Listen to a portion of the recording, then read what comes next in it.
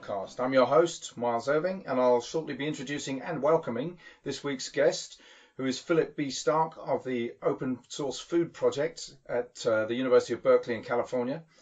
Uh, prior to that, I just want to give an update in terms of where we are in time and space in relation to the cycles and the seasons and uh, the, the growth of plants that are edible and, and good to eat. We are at a point now where everything is really coming to that point of fulfillment, that ultimate sort of fatness at the end of the growth cycle of plants, which is there to produce seed that can keep the life cycles going for another year, um, and in many cases put seed in the ground which could survive for um, as, as, long as a century until the right conditions prevail um, for it to spring up from the ground. So sometimes uh, plants like fat hen and um, plants like many of the mustards, they have such an amazing um, strategy to just keep that genetic material safe and sound within the um, the sealed unit of a seed, uh, and and and it can it can mean that there are no ideal conditions for a very long period of time, but that seed in the ground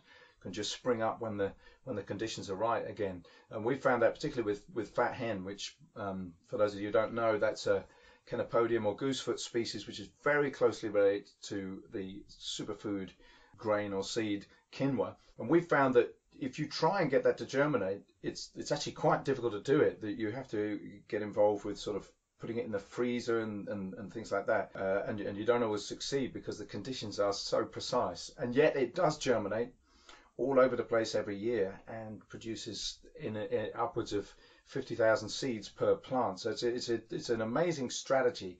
Um, and the peculiar conditions that it requires are a reflection of, for me, the notion of wildness. That this is this is elusive. It doesn't uh, lend itself particularly well to to domestication and, and being under our control. And the, and the mustard seeds are kept preserved by um, mustard oils, which um, for us they, they behave as flavor chemicals, but that's part of what keeps the, uh, the, the, the seed viable for, for that plant. Those are two of the seeds which are, um, are, either ripe or fully ripe at the moment. We have black mustard seeds around which which are, are fully ripe, and you can just harvest um, a great big branch of that and, and shake it into a bag, and you have mustard seeds for the year.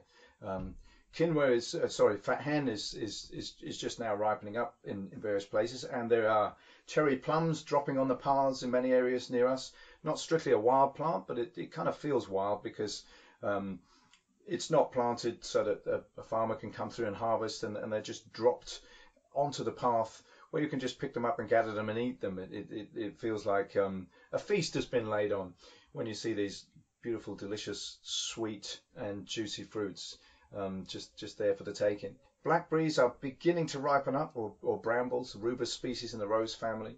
Such an abundant plant, and the sort of thing that that is still for many people um, just a commonplace, an ordinary thing to gather a blackberry from the hedgerow, and, and I love that. I often say to people who think that they don't know anything about foraging, I say, do you do you ever pick blackberries? And, and it proves that they're still in that relationship with with wildness in their surroundings because they, they certainly do. Not everybody, but an, a, a, very high percentage of the population in the UK, I'd say, experience that every year, and it means that they they are at least one foot into this concept that wild landscapes provide food that you can eat without thinking twice about it.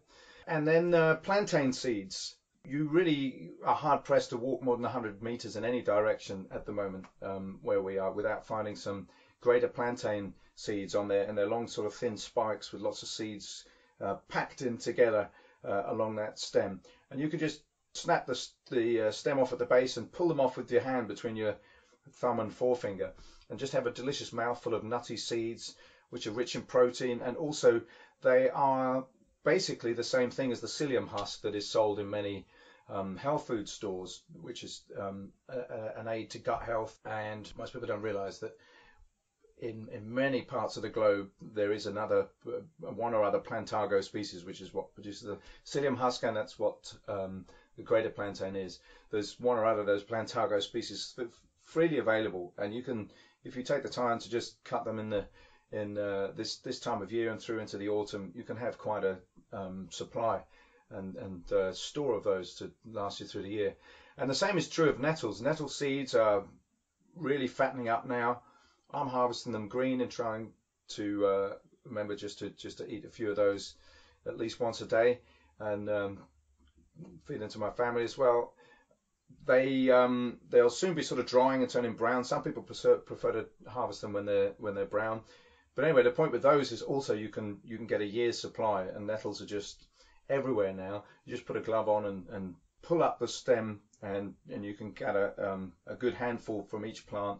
You could put that somewhere to dry and rub it through a a, uh, a sort of garden colander, and then just store them for the year. They have kind of tonic properties. Some people say uh, adaptogen properties. I'm not sure if that's strictly accurate, but they certainly they are a boost for the whole system, and they contain neurotransmitters such as serotonin, which can help uh, you know with the cheerfulness that's associated with that compound. Um, and and just the amazing thing that there are plants like plantain and and nettle which are uh, so associated with human habitation. They they seem to love to grow nearby where people are. Plantain will grow on rough grassy areas that, that get stomped on or driven, even driven on all the time. Nettles in any area rich in nitrogen near human human dwellings. They just seem to be almost rocking up at our door uh, with a will to feed and, and nourish us. Uh, um, and um, it just seems like that. And um, I think it's like it behoves us to to just open the door and welcome them in because these are such beneficial plants. And just that sense of uh, engaging with the, with the nourishing tendency, tendencies of our um, ecosystems that we find ourselves in, and specifically an ecosystem that has developed in response to us um, to be there where where um, people have shaped an environment and they find that the niche that they prefer is is that human shaped environment. Um, that's a thought we could take further and further, and um, and I'm sure we will. So now I'll get on to introduce Philip. So Philip runs a thing called the Wild and Feral um, Week every year, and he tries to encourage people to uh, engage with wild plants through the through the medium of, of bars and restaurants, and that's kind of drawing in farms where they have wild plants growing, and, and he's trying to encourage people to make use of those plants, whether it's the farmer gathering them or the um, bar and cocktail guy working it into his drinks menu or the chef putting it on his menu lots of different things, and every year there's more and more participants in this. So you, you might want to check that out for, for next year. You could perhaps get involved wherever you are in the world. That's the beauty of this project. It's a global project, and so Philip's a, a man after my own heart, really, because you know the purpose of the the, the, the World Wild podcast is to try and get this perspective that, that we're all the same wherever we are. Um, even though like something I just mentioned now with the, with the seasons, of course, if you live in Malaysia, you wouldn't have the same sense of the cycles of the seasons, uh, the, the the kind of world view that that um, is reflected in engaging with with the natural environment. There would be very different from in a temperate zone where, where I am, where there's a very clearly delineated winter and summer and so on. Um, so I mean, that's a topic I'll probably get into in more depth another time, like the, the how the, the, the sort of metaphors that form the basis of our life are a reflection of our particular ecology and our particular um, climate where we are. And therefore, it means that we have a different experience and, and therefore that sort of um, system of metaphors and ideas in different parts of the world where the climate and the ecology varies. Um, so it's not all the same, in other words. So um, the World Wild project is something that extends beyond beyond this podcast, and I hope to be able to, to tell people more about that. But really, the podcast lays a foundation for it, in that people like Philip can come on and tell tell us what what he's doing, um, where he is, and you'll you'll hear some of the um, amazing projects he's doing, just analysing plants uh, that grow out of what's thought to be um, toxic soil and and seeing whether they're safe to eat or not, and analysing the nutrition, and and also the fact that Philip is driving to actually affect public policy so that it becomes a commonplace to make use of these things. So people working all around the world in different aspects of this, of reconnecting people with with the wild heritage, um, is something that that uh, we're hoping to create some kind of linkage with, but just by getting these voices um, to to to broadcast out through from from one space, the World Wild Podcast, which is not to say it's the only space that that, that is, is gathering people together, but that's a that's the contribution that we're trying to make. Um, so I'm absolutely delighted to to have Philip with us, and uh, I have a feeling that this conversation is actually going to be the start of some um, practical engagement um, between us that that uh, I'm sure you're going to hear more about in the future.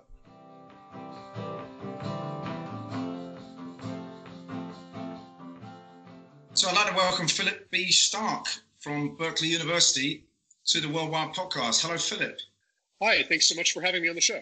It's great to have you here. Now, of course, we met a few years back at the um, the Mad Wild event in Copenhagen, uh, which actually was quite a gathering of wild food characters from, from around the world, wasn't it? I I was quite starstruck uh, meet, meeting you and many others. Yeah, I mean, it's it's um, it makes you wonder why we uh, wild fooders don't you know don't have our own thing where we all gather once a year. It kind of feels like we should do. That's what the AOF is up to. Yes. We we did talk about it in in, in Copenhagen, didn't we? So yeah, we'll uh, we'll have to make that happen. That would be lovely. So, tell me about what you're working on just now, Philip. I, um, I've said a few things about your work in, in the introduction, but we'd love to have a, a you know, an update of what's um, what's happening at Berkeley now. There's four or five different threads to our work.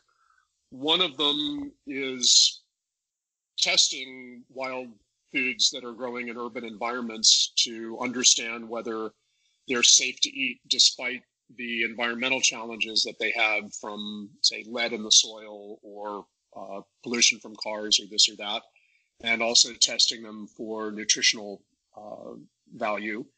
Um, we have an annual event that we try to organize called Wild and Feral Food Week, which tries to get weeds on plates around the world.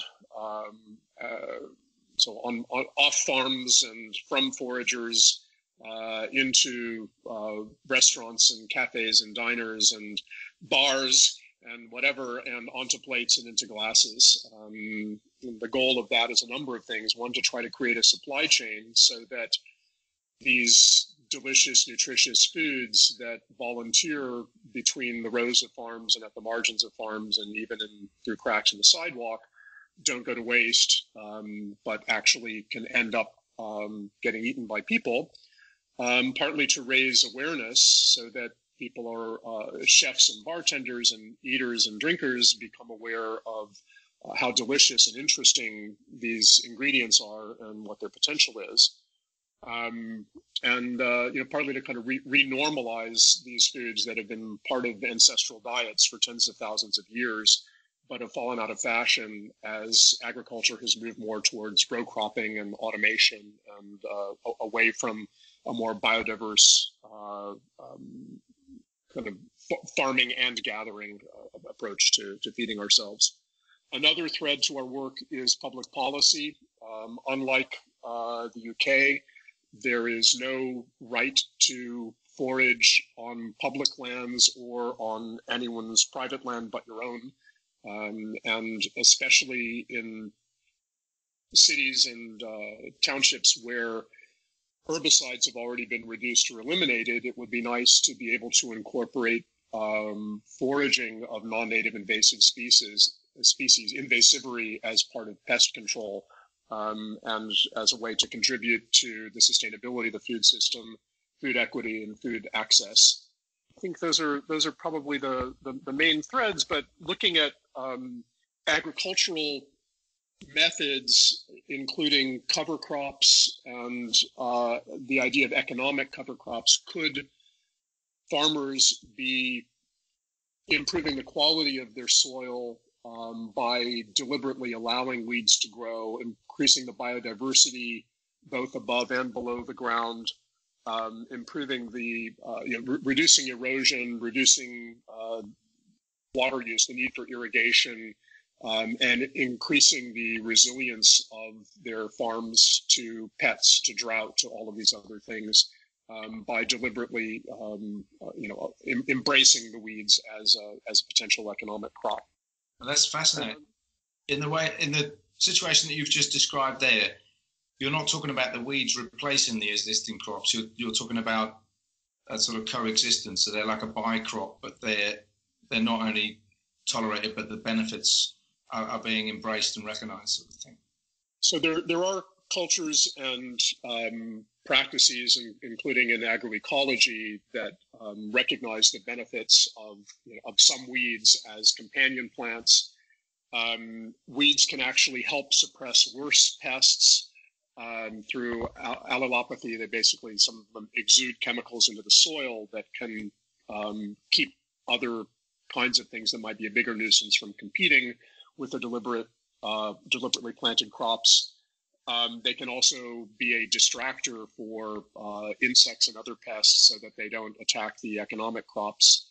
Um, but uh, you actually raise an important issue, which is what will the crops of the future look like in the face of changing climate uh, on the planet? And I, I think that our Western society is going to be faced with uh, a big choice between trying to engineer our way into crops that will do well with uh, more weather extremes, either through uh, GMOs or CRISPR or some similar technology, or um, if we think about what we would actually like the crops of the future to, to do, what we would like them to be like. you would like um, plants that compete very well, um, that don't require a lot of inputs, water, fertilizer, so forth and so on. You'd like them to propagate easily. Uh, if they're perennials, you'd like them to propagate vegetatively, even from fragments of roots. If they're annuals, you'd like them to produce a lot of seed. You'd like them to be able to start producing food early in the season and continue late in the season. Um, uh, you'd like them to be sexually promiscuous in that uh, they can be pollinated by wind or by insects or by um, birds. You want them to sort of be non-specific in their requirements for, for pollination. Uh, and all of these things are, are basically properties of weeds.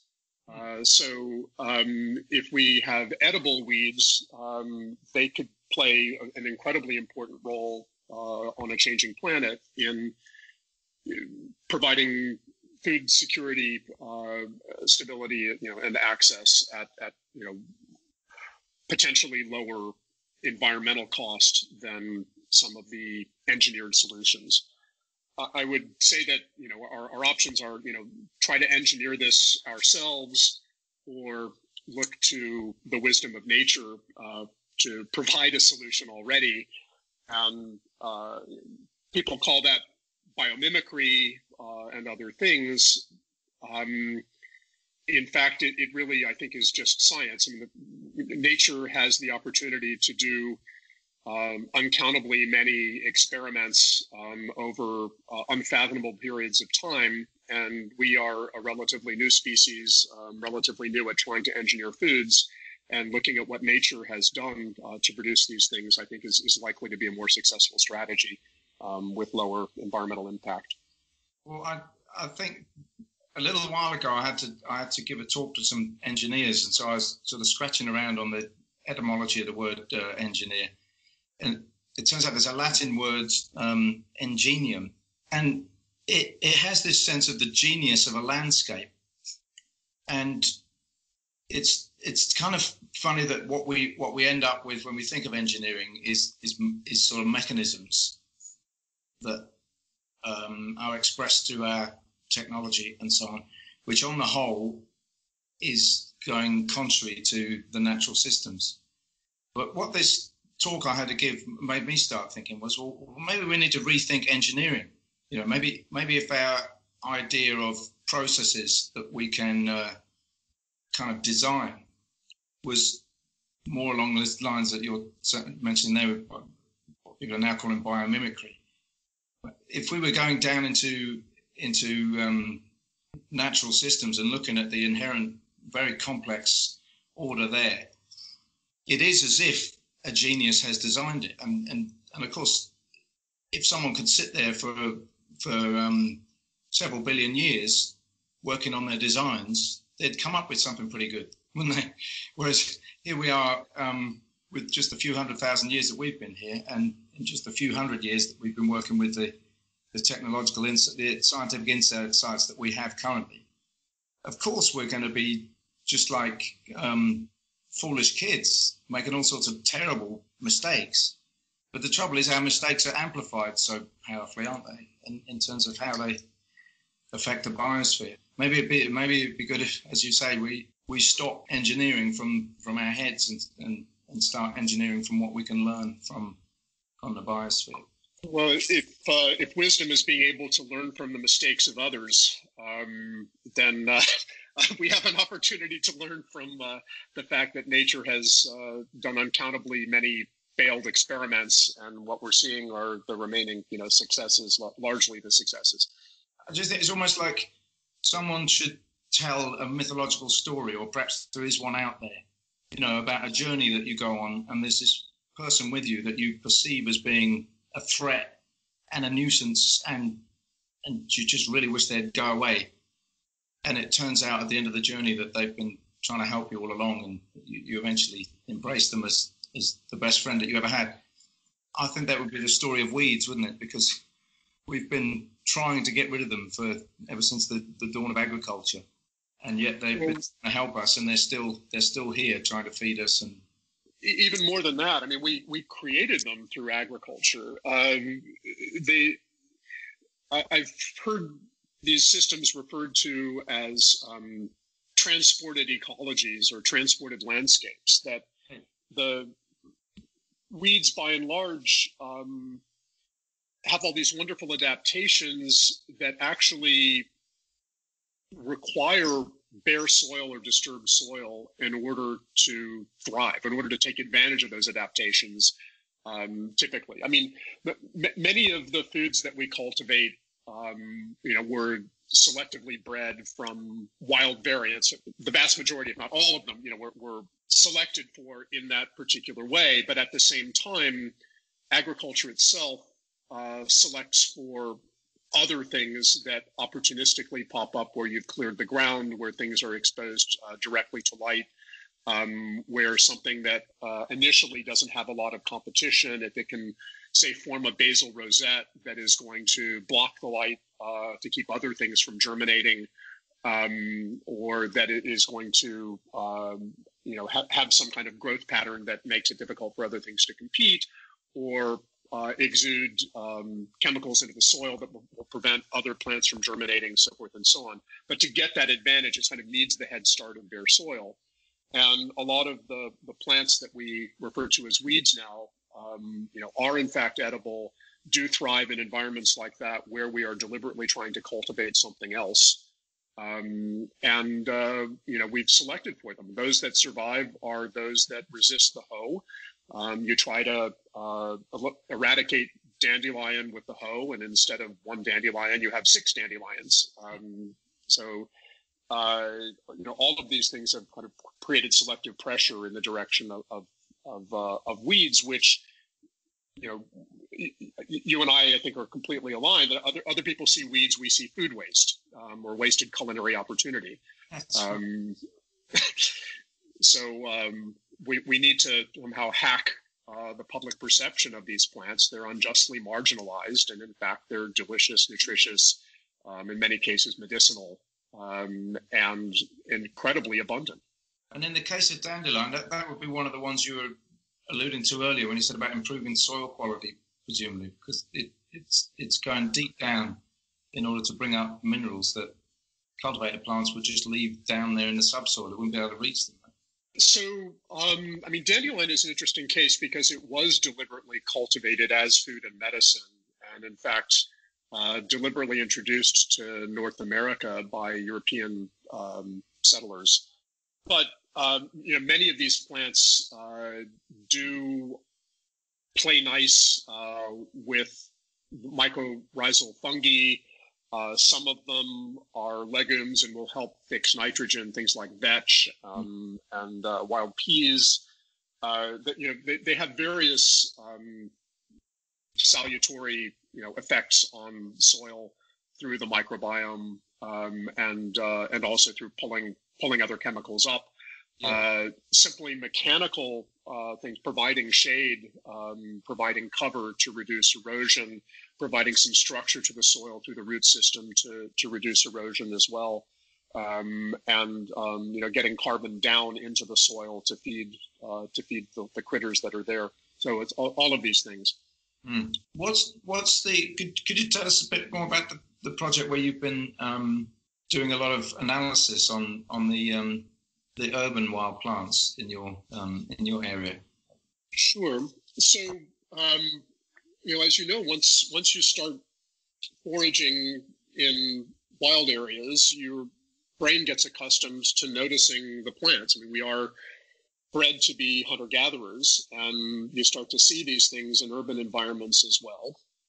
And uh, the question at some point, you know, the obvious question is, well, is it safe to eat these things when they're growing in, uh, you know, what we would normally think of as a as a landscape rather than an ecosystem um, when they're growing in, in the built environment. Uh, so, uh, together with uh, some colleagues uh, here at, at, UC Berkeley, Tom Carlson, Kristen Rasmussen, um, and then more recently, Daphne Miller joined joined the group.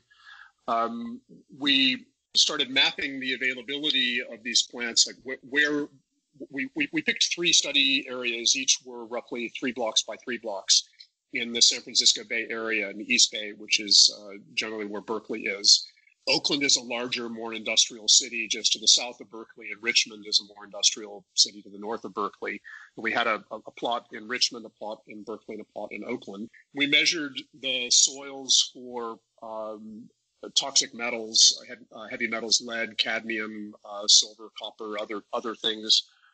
Um, and then we measured the plant tissue uh, in a number of places for those metals and then in a smaller number of places, we did tests on wet tissue for not just metals, but also for uh, PCBs and herbicides, and specifically for glyphosate. Mm-hmm. And the question was in, in urban places that have a lot of exposure to industrial chemicals and contamination, either because of how the land was used before, like a, an abandoned shipyard, uh, or because of proximity to major roadways, um, are the plants still safe to eat? Do the plants uh, phytoaccumulate or concentrate these things from their environment, or do they kind of ignore them um, and only take what they need? And uh, what we found uh, for the species we tested was that even where the soil had elevated levels of lead and cadmium, the plants were not accumulating them.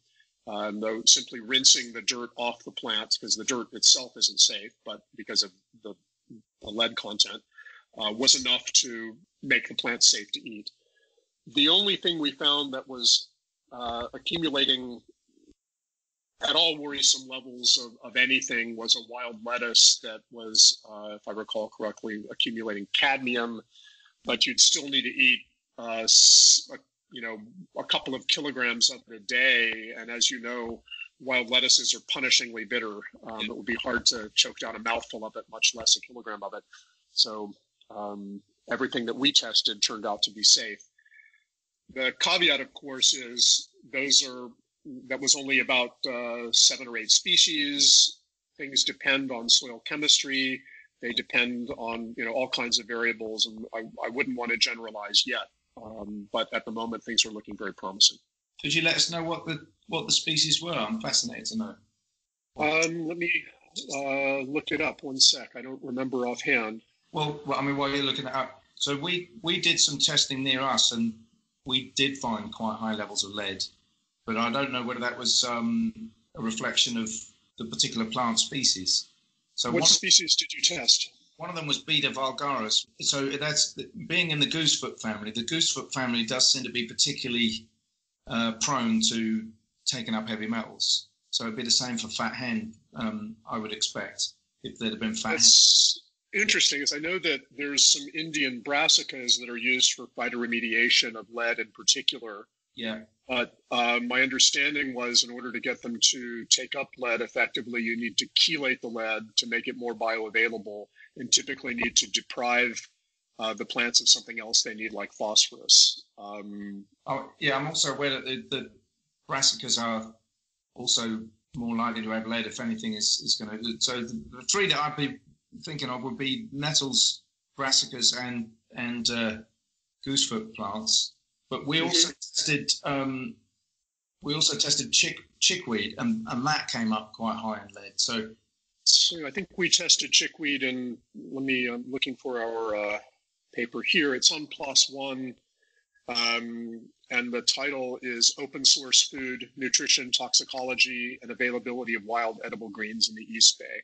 We'll put this um, in the podcast notes so people can access it. Great, um, thank you. So it'd be so, know if, if there was some different conditions that, that that meant, as you say, that that hadn't occurred to me, like the bioavailability side to it, or yeah, I, I just assumed that anywhere with with um, next to a fairly busy road as this was, that the plants would automatically take it up. So this this is absolutely fascinating. So w- there are tests on dry plant tissue. Uh, we tested uh, mallow, Malva sylvestris, uh, bristly ox tongue um, cat's ear, English plantain, wild lettuce, nasturtium, dandelion, and sweet fennel. And then our tests on wet tissue, uh, we had chickweed, dandelion, dock, mallow, nasturtium, and oxalis.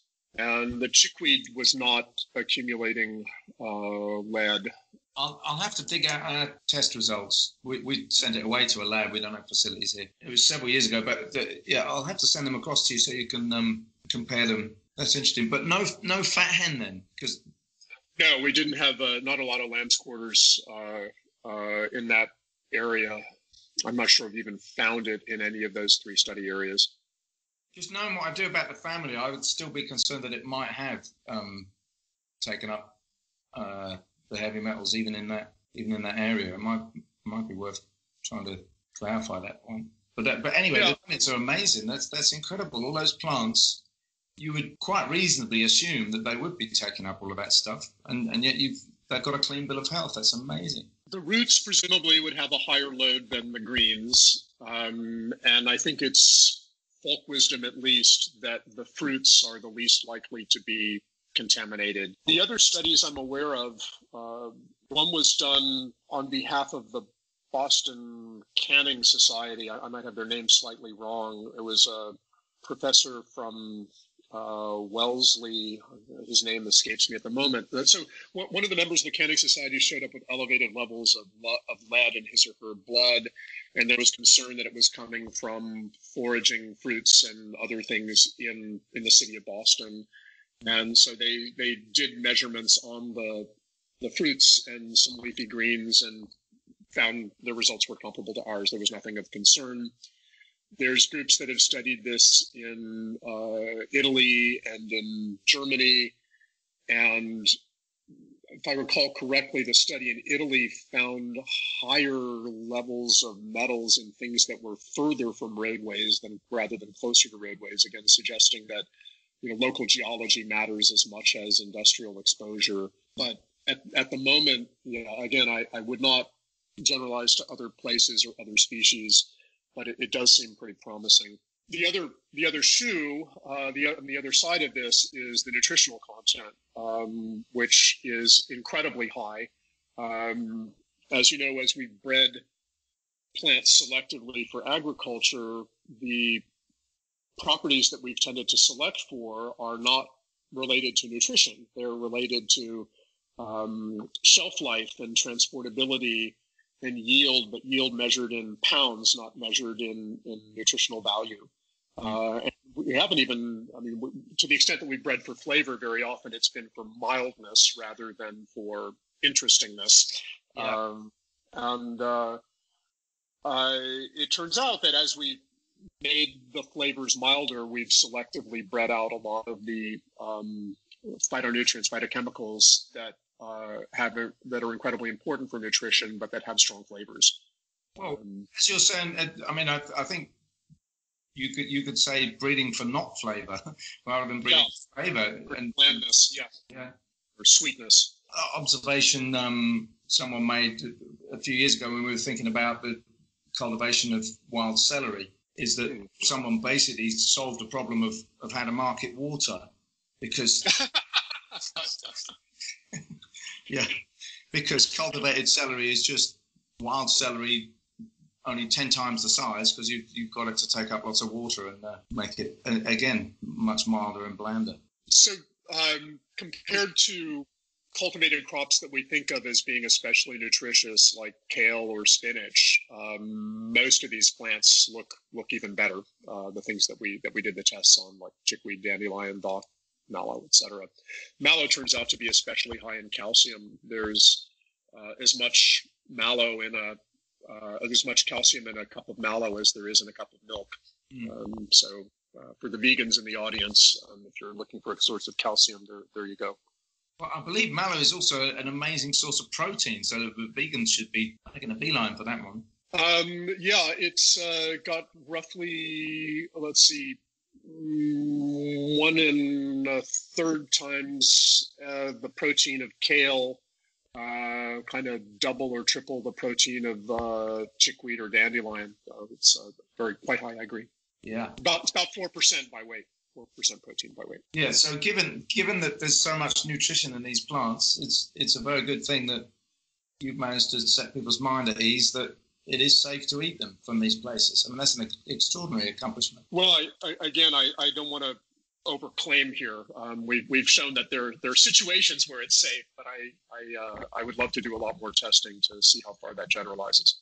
And in the places where, where you've where you've got that, where you are able to make that claim, have you been finding that you're able to tell the people that matter, as it as it were, like local people? Is are, are you able to somehow get the information across to them? Yeah, it's a really interesting question and, and set of problems. Um, some people who were, you know, happened upon us while we were out in the field were very interested and wanted to know what the results were uh, for the soil testing and were interested in the plants. And, and other people, uh, the response was, um, that's really gross. Uh, why would I pick anything off the ground and eat it?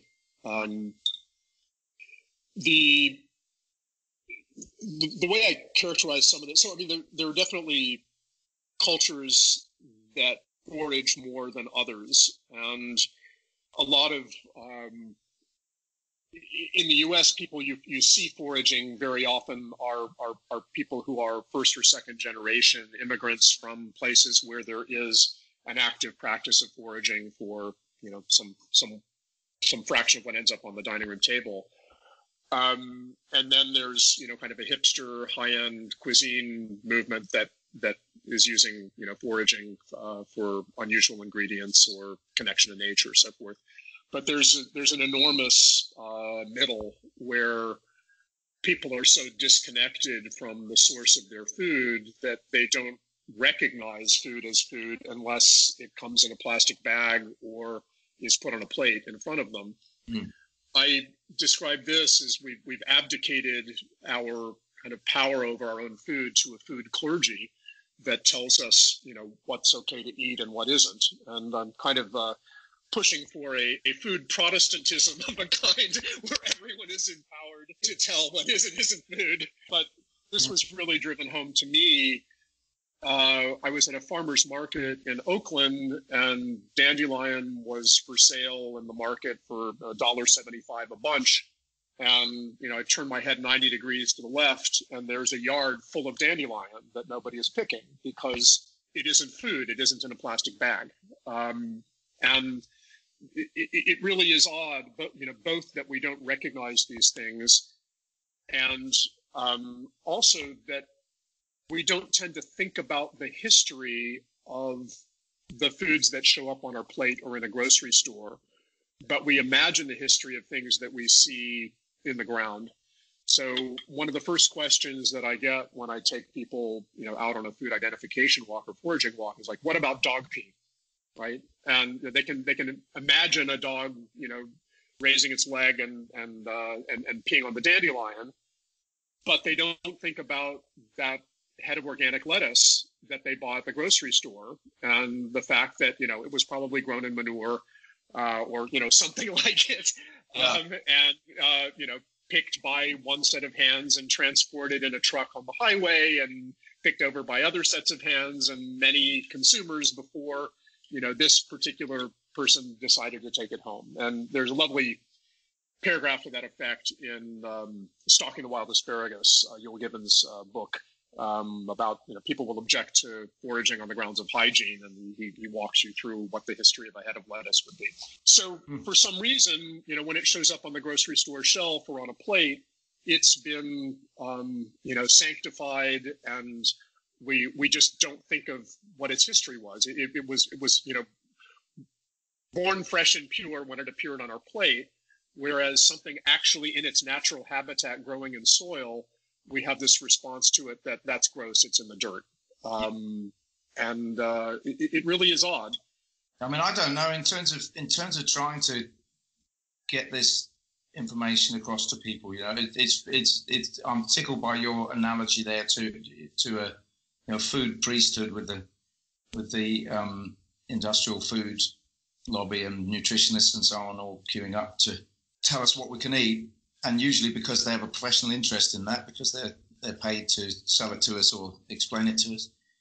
But uh, I think there's a there's a slight problem with your analogy of Protestantism, though, um, which is I, I, am a bit of a lay student of the Reformation, and and and uh, what happened there is a bit like in the um, you know that song by the Who, uh, "Won't Get Fooled Again." You know, meet the new boss, same as the old boss. You know, yeah, there's still, still there still is that thing of you know you you you uh, you have some bloke up the front that you need to come and listen to every week within Protestantism. That was from the outset quite a strong uh, thread, but there were these um, these real the, the true Protestants, in my opinion, were this this crowd uh, called the Anabaptists, who had no hierarchy, no leaders, and, and all of their gatherings had everybody contributing. It was sort of multi-voice sort of situation.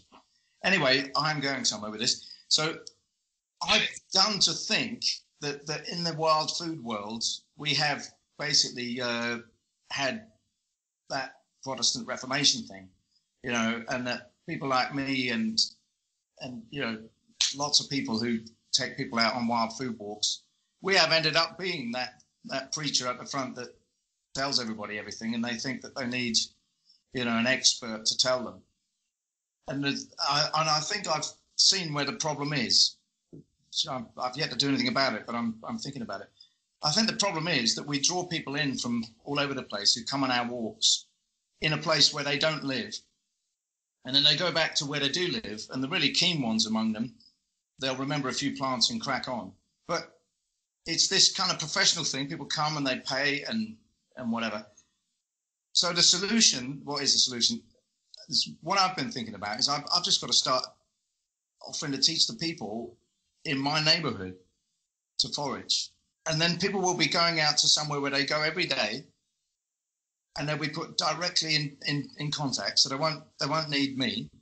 And uh, only I'll still be there because the kind of thing that I'm suggesting here really is that, is that, is that wild food teachers should behave like village elders, you know, yep. so that they're there on an ongoing basis. But before long, you know, everybody knows that, and they're passing the knowledge on. The, the word elder uh, occurred to me several times while you were speaking. That that I mean that that's kind of what how I think we should be functioning. It's we we have this there is this ancestral knowledge. We didn't create it. We inherited it. Um, none of us is discovering new edible plants that nobody knew about. We're just identifying things that people have known about for for generations and generations. And you know even to the point that you know my my knowledge of this stuff is probably comparable to that of a four year old from a few hundred years ago. Yeah. Um, uh, so i'm you know i'm by no means an expert.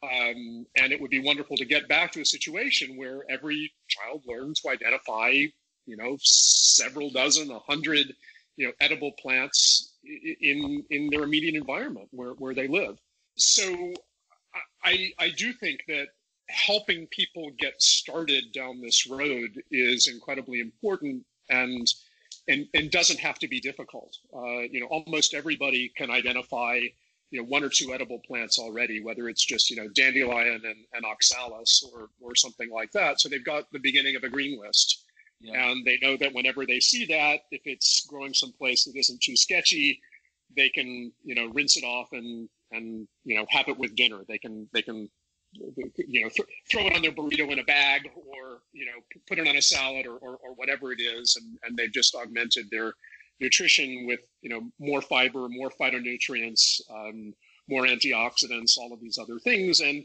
incorporated a little bit of terroir and had something that's as fresh as it can possibly be and as seasonal as it po- could possibly be because it's growing on their doorstep. Yeah. Um, and then it's just a question of adding to the list, and you know that doesn't have to be terribly terribly difficult. Um, and if you know if you're willing to take them on a walk where they live, um, you know then every few months. Uh, what's new this season? Well, here's three more things, and then next year you'll you'll you'll be able to recognize them on your own. Yeah, I mean, I, am just trying to th- think through how do we take this out of just being the the class of people who are. I mean, you you reeled off some earlier, you know, like hipsters or foodies or you know who would be interested. How do we take it out of just that that kind of minority take up to just make it normal again? And the only way I can think of doing it is to is to try and get it happening as as a kind of local community exercise. It's a bit easier where I am because I'm in a village, not a town, so there's there's a lot more green space to choose from. Surprisingly easy here, even though I'm living in an urban area. It's just uh, it, there's lots of stuff growing pretty much all year. When it gets to October or so, at the end of a long summer, um, there may not be as much variety. But if, if you like fennel seed, um, I think the lift to getting the general public to forage is a very, very big lift. And I don't think it's likely to, to happen on a large scale. I think that the easiest people to um, awaken on some level are people who are already gardening. Uh, just going into community gardens and and reminding people that this is what you planted deliberately, but this other thing growing right next to it is also food. Uh, just pointing out that that people are are actually growing more food than they realize. And I, have done a number of um, uh, tours of community. Was invited to, to, go to community gardens and and uh, you know identify some of the wild foods that are growing there um, between the rows, and that, that's been very rewarding. And again, if we look at this in terms of what has the most leverage, what's likely to have the biggest impact on nutrition and food security, you know, it, it isn't. It probably isn't getting individuals to forage. Although I think there's a lot of benefit of that to the individual, including just it's a very natural way for your brain to function to you know to look at resources in the environments and kind of be, be scanning for that. And then the physical activity of bending down and the intellectual activity of you know figuring out what something is all of those things are incredibly important. But what would have the, a, a bigger impact is to actually change the relationship that farmers have to these weeds and to create a supply chain. Because um, you know, these things grow in enormous quantity or potentially enormous quantity, uh, especially on organic farms, and to uh, have farmers realize that that basically is wasted revenue. That all of those inputs are going in, uh, you know, that accidentally. They they don't have to deliberately water this stuff or plant it, but if they pick it and sort the edible from the inedible, um, that's more money.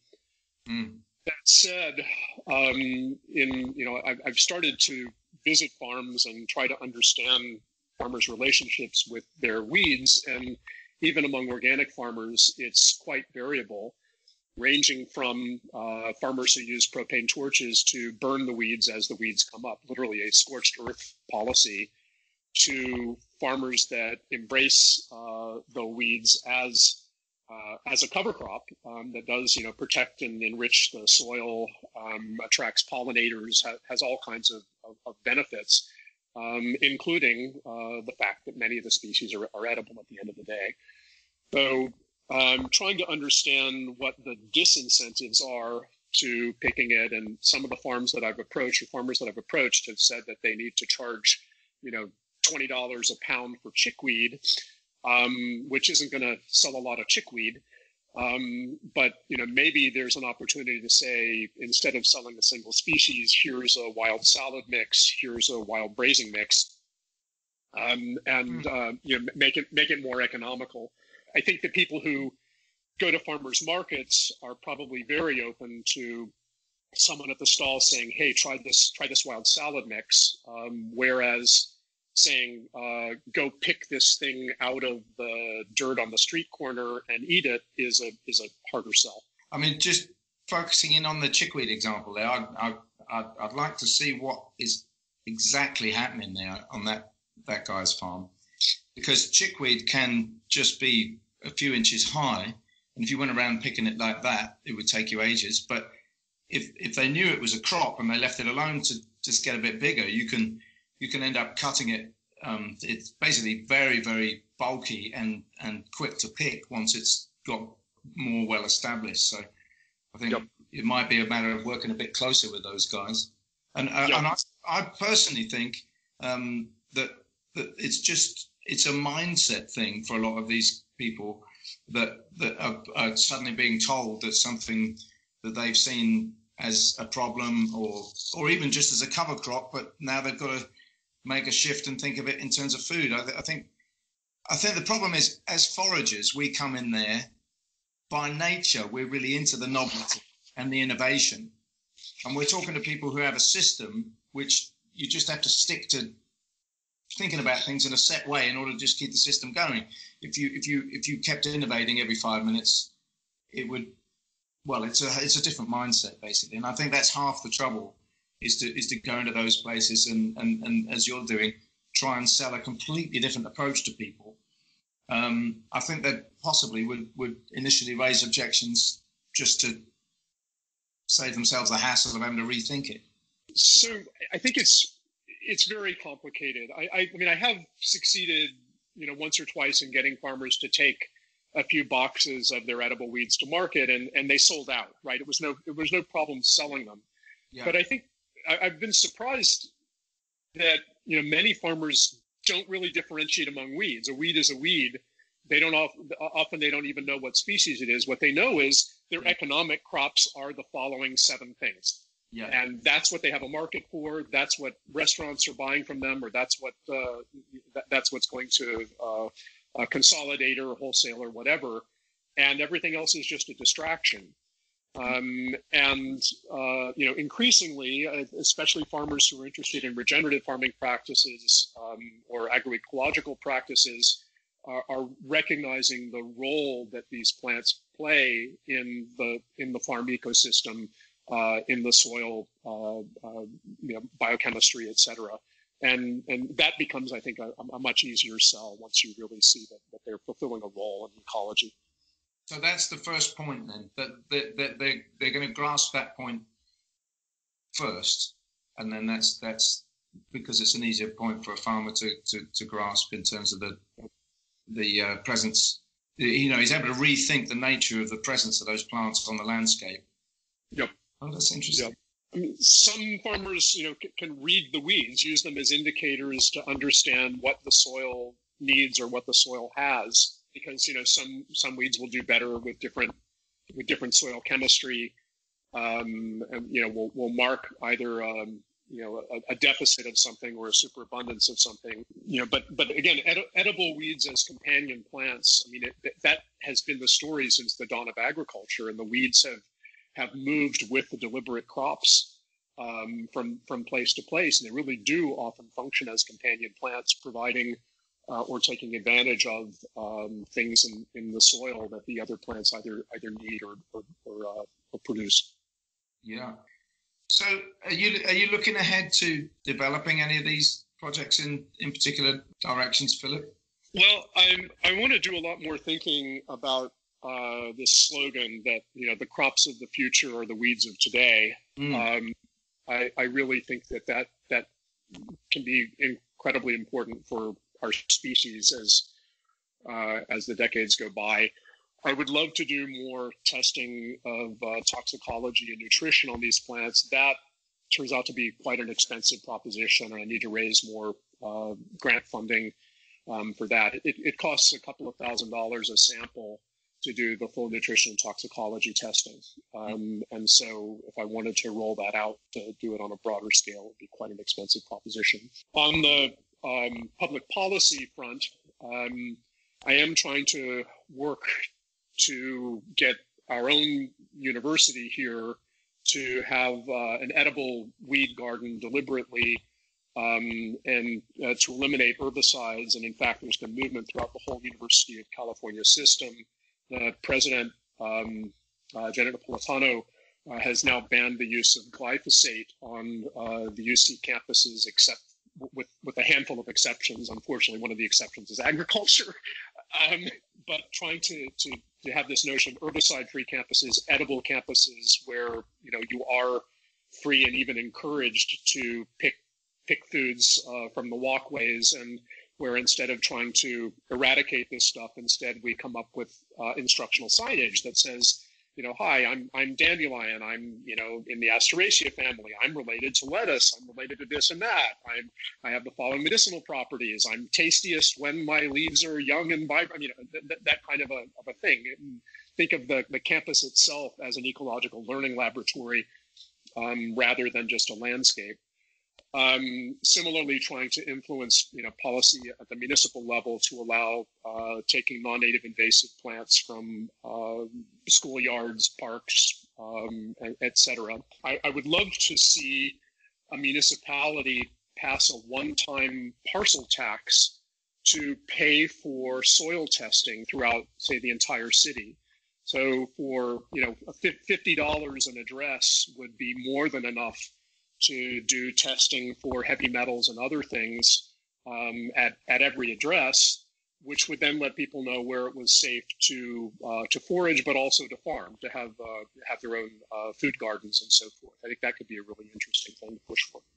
And do you have people um, in the uh, municipality that, that that are engaging with you on these things? Do, do you have allies who kind of see what you're trying to get to? Unfortunately, not a positions of power uh, within within Berkeley. And I spoke to the mayor uh, briefly some years ago, and he was very encouraging, but then didn't return my email. So I, I don't know uh, um, what's up with that exactly. But um, the local park systems, it's uh, it's a hard sell. Kind of interestingly, one of the first things that comes up when you speak to people is like is the issue of liability.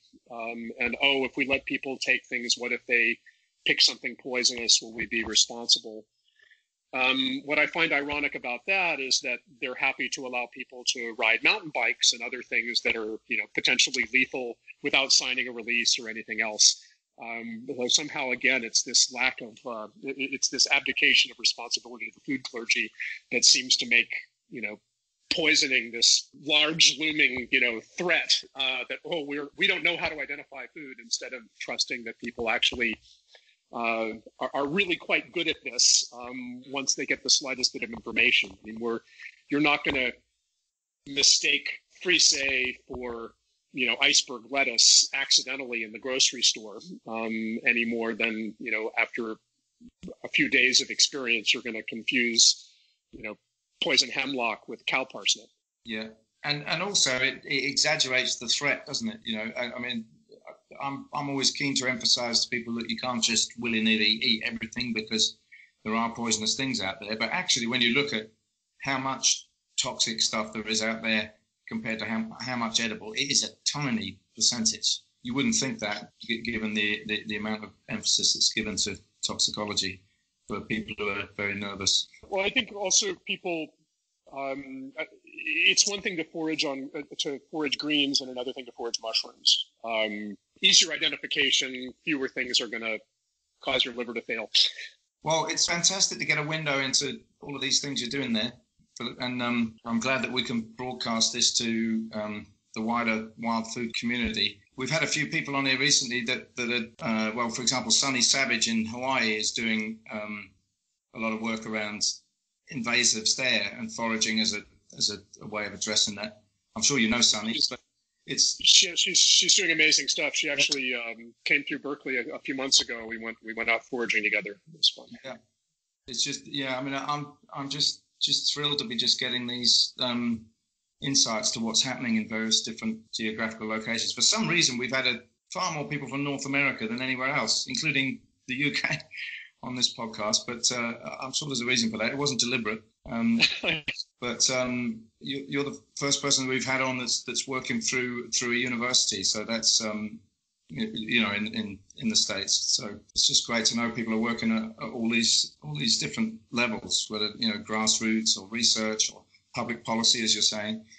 Um, yeah, I just guess we we got to keep on and um, and see it um, see it make the change that we're reaching out for. Well, I'm I'm very grateful uh, to you for having me on the show, and grateful for for what you're doing to kind of expand public awareness and appreciation of, of all of these foods, um, and both from their cultural history and deliciousness and uh, and everything else. I think you've really done an awful lot to create a market um, uh, for this, which I think is incredibly beneficial. Uh, and I hope that, that we can find a way to, to collaborate together, um, keep moving these things forward. Yeah, yeah, sure we can. just just got to keep all these conversations going just uh, mention the, the URL for our project uh, is forage.berkeley.edu. Yeah. Um, uh, people want to look at, uh, there's links to the papers there and uh, uh, other publication press and, and so forth. And we're on um, Twitter and Instagram as OS Food, or Open Source Food. We're going to put all of the links to that um, on our page on the Forager website, so so people will be able to tap into all of that, and um, and hopefully so we'll we'll um we'll speak again like uh, in, in a few months' time and, and get an update on on everything that's happening there, Philip. Terrific. Thanks a lot.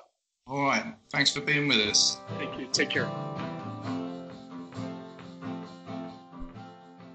Joining us for this week's World Wild podcast. And um, I'm aware I went off on a slight tangent with the introduction earlier talking about the broader aims of the World Wild podcast and the World Wild project itself.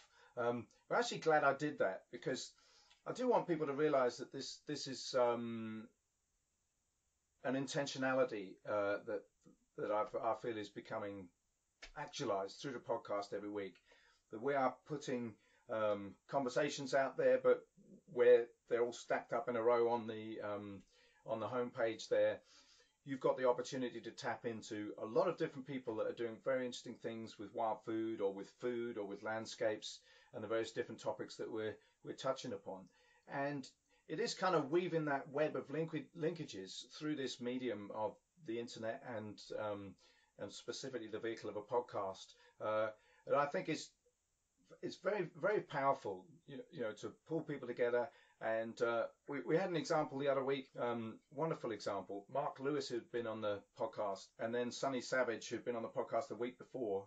Of all things, Sunny came to Arizona the week after Mark had been on, and that had been planned months in advance. So those two guys got to meet and hang out together, and uh, Sunny's generated some some content online telling that story. Uh, and Mark was just saying, well, what's the chances of that? Exactly. There's uh, there's a sort of wonderful connectivity and a things working togetherness um, that's happening there um, through through these linkages. And I just want to I don't know just sort of every every broadcast we do is is kind of like breathing life into into that network. And as with every kind of network, you know, I'm just a node in the network. You you are also a node in the network if you're listening to this podcast. And um, I just encourage you to kind of breathe life into that as well and spread the word. Draw this material to uh, the attention of other people and uh, also feedback to us. We'd love to hear your comments and feedback. You can contact us through the Forager website or you can leave obviously as we keep encouraging you to do reviews on the uh, podcast providers where you are but you know we'd just love to hear from you and uh, love to hear your um, suggestions comments even if they're slightly critical. We know that we could be, no doubt, doing things better. And also that you consider becoming a, a patron through the Patreon page. Um, we're aware that sometimes, you know, the production values are not that high level, but we're doing this on an absolute shoestring at the moment. And with a with a few more patrons, that would uh, that would obviously change. We we could feel justified in spending a bit more time and investing in some equipment. But anyway, we just wanted to know whoever's whoever's whoever you are listening to this podcast, we we really just welcome you into these conversations.